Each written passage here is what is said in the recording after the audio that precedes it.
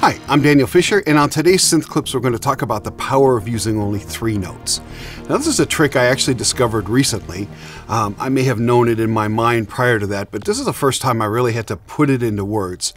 I was at a KnobCon, and one of the things I like to do at KnobCon is bring a guitar and a bunch of weird pedals and just create a stereo ambience thing. And this time I had brought an ASM Hydrasynth uh, desktop unit. So it had the pads, and I had a guitar with a wireless MIDI transmitter on it. And it was in a mode where it would only send one note at a time. And the other person wanted to play the pads on the Hydrasynth. And I thought about it for a while since we hadn't practiced or anything. And I said, I'll tell you what, I'm only going to play one note. I only want you to play a maximum of two notes on the pad. And the reason is it's hard to make something wrong. And I, I, know in music you don't really talk about, you know, things are exactly right or exactly wrong. But you know sometimes when you hear something and it's just not right. And I kind of reasoned out that it's much harder to do something wrong with only three notes than if you're doing four notes or five notes or six notes, especially if multiple people are involved in making those notes. And so we just did a jam where he just held two pads and then occasionally moved one pad to the other pad. And I did my single note and it came out really well. And so I thought I'd share that in a synth clip. And I'm in both camps on the learning by ear and learning music theory. I know there's a sentiment, I see it on the forums where people are saying, oh, I don't want to learn music theory, it's going to ruin me, you know. And I could tell you I've done both worlds. I grew up playing by ear. Uh, I started at five, just kind of knowing how to play by ear on simple songs and I got better at learning songs. But it really wasn't until college that I finally learned music theory, the correct way to identify chords, the correct way to understand scales and key signatures and all that. And I got to say, it really didn't wreck any of my innate ability to just play or do things that I wanted to out of my head. But what it really did was allow me, one, obviously, to expand what I could come up with, but even more importantly, I could talk to other musicians and say, no, no, uh, you need to play a major third on that, or uh, you're playing a minor seven chord and it really needs to be a minor major seven chord there or something. And all of a sudden, just in those words, they would understand what I was talking about. And it also really helped with remembering how a song goes. Oh yeah, I have to do this chord then that chord, and and it's so much easier to remember chord names and scale names than to try and remember exactly how the song goes for everything. So this is one that kind of leans back towards someone who doesn't have theory yet, um, or has some theory, but wants to play on a synthesizer and make interesting stuff. That's not always the same, you know, hold one note and play the five and the flat seven in your other hand. Um, this is a way of kind of breaking out of that a little bit. And so, what the rules are is that you never have more than three notes and try to spread the notes apart, but they will work in clusters as well, uh, depending on how weird you want to get. But have each of the notes just move one at a time and don't have them make great jumps. And you'll find that you create things musically, and after a while in your ear, you'll start hearing which note you might want to move up or down. And you can move it a whole step, a half step, you can move it greater than that. There really are no rules, but start with having just three notes some amount apart and then just start moving them. And so there's really not a lot more to say about that. Uh, so I'm going to just try and do it. And I'm going to try to not use my, the theory part of me to play the correct notes. I'm going to try to just kind of play random notes that someone might play if they weren't sure exactly what they were doing. But I just want to show you that it kind of does work. And of course, you can always break the rule. Um, you can add more notes as you get more confident. But sticking with the three notes really does work. And remember that the bass line counts as one of those three notes. So now it's all playing. And to do that, I'll be playing the Korg Wavestate Wave Sequencing Synthesizer. I mostly chose this one because I haven't used it yet in a synth clips and because it has lots of different kinds of sound, both synthetic as well as sampled. So I thought it'd be a good match to do this.